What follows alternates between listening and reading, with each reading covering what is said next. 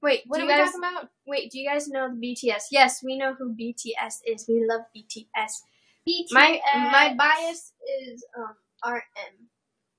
Mine is um, either Jimin or Jungkook or um Tae or uh, J Hope.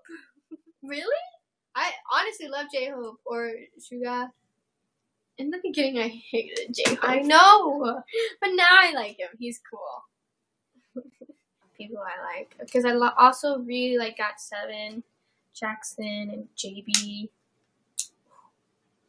JB from Got Seven. My goodness, if there is a a man who is better look or a good looking man, that is JB.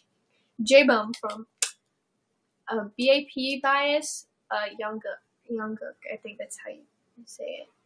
Young, yeah. No, young, young, good, younger. I don't. Wait, let me, let me.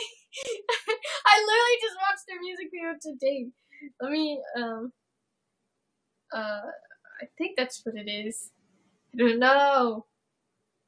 Um, Blackpink and iKON come back next month. I'm so excited. I'm excited too. Who on here who's watching likes K-pop? Anyone? Anyone?